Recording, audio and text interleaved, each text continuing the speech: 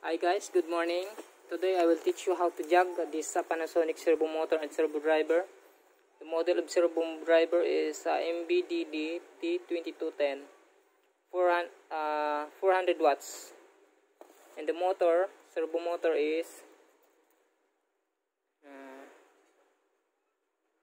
0.4 kilowatts or 400 watts. Okay, let's try to plug in, power it up. Okay. As you can see, it is uh, I plug it in in single phase. Okay.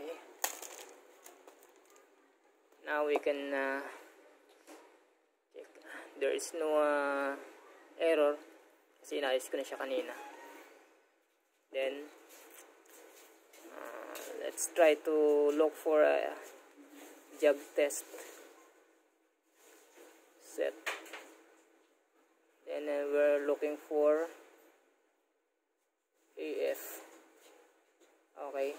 AF ACL then we're lo looking for jog so let's try to look for jog okay.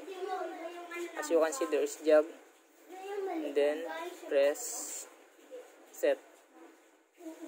Okay jog then press this uh, uh, arrow up five times. One two. Okay. As you can see there is ready uh, in the display.